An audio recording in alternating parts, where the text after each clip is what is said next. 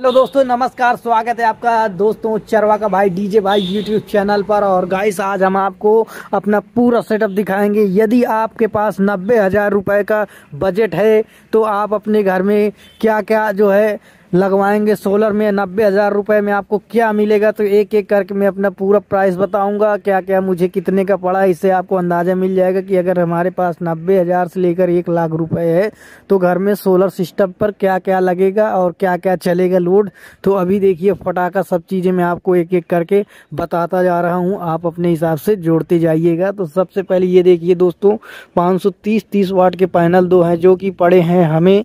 एक पैनल की प्राइस पड़ी है दस हज़ार हज़ार पाँच सौ रुपये दस हज़ार पाँच सौ रुपये तो हो गया।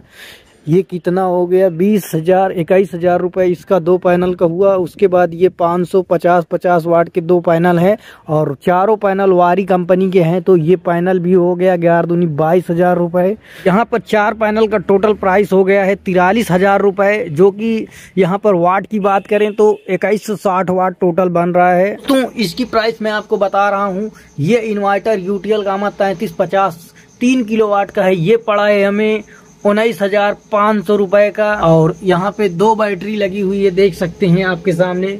दो बैटरी डेढ़ डेढ़ सौ एम्पियर की है, पाँच साल की गारंटी के साथ है दोस्तों। और इसकी प्राइस हमें पड़ी है इन दोनों बैटरी की, चौदह दूनी अट्ठाईस हज़ार रुपये तो यहाँ पर मैं टोटल इसको भी आपको जोड़ के बता रहा हूँ। तो कुल मिलाकर आप नब्बे हज़ार रुपए पहुँच रहे हैं यहाँ पे तार का नहीं जुड़ा है। मान लीजिए तार जो आपकी लगेगी छः एम mm की लगेगी माइक्रोटेक डीसी वायर वो मिलती है पैंसठ रुपए मीटर तो लगभग आपका तार का खर्चा एक हज़ार से डेढ़ हज़ार आ जाएगा। हमें पाइप बचे हुए थे और नीचे के हमने खरीदे हैं जिसको खर्चा आया दो हज़ार रुपए बनवाने में और आगे का दो पैनल जो रखा है उस पर भी दो हज़ार रुपए लगा करके बनवा लेंगे तो चार पाँच हज़ार रुपए टोटल खर्चा उसका आएगा। आपको मैं लोड बता देता हूँ तो क्या चल जाएगा दोस्तों? सबसे पहले मैं दूसरी जगह पे हम आ चुके हैं और यहाँ पे भी देखिए एक सीलिंग फ़ैन है।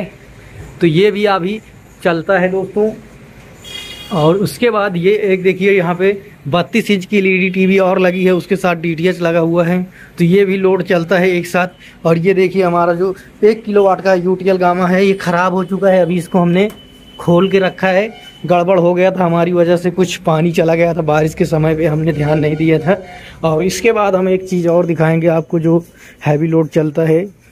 ये देखिए दोस्तों, ये एक 18 वाट का जो है इंडक्शन चूल्हा इसी सौर ऊर्जा से चलता है दोस्तों। दोस्तों, अभी हम वापस से छत पे आ चुके हैं। तो मैंने देखा अपने घर का पूरा क्या क्या चलता है एक साथ ऐसे से, वो चीज़ें मैंने दिखा दी है। कोई दिक्कत नहीं होती है, लगातार पूरा चलता रहता है।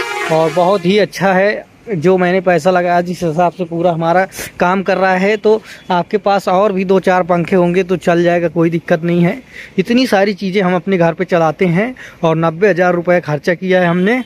दोस्तों, आप भी खर्चा करके इतने में इतना सारा घर का लोड चला सकते हैं और चारा काटने की मशीन भी वन एच पी, दो एच पी के चला सकते हैं, इससे कोई दिक्कत नहीं होने वाली। तो दोस्तों, इस वीडियो को हम यहीं पे समाप्त करते हैं। फिर मिलेंगे एक नए वीडियो के साथ। तब तक के लिए आप लोगों से आज्ञा करते हैं। बाय बाय धन्यवाद दोस्तों वीडियो देखने के लिए।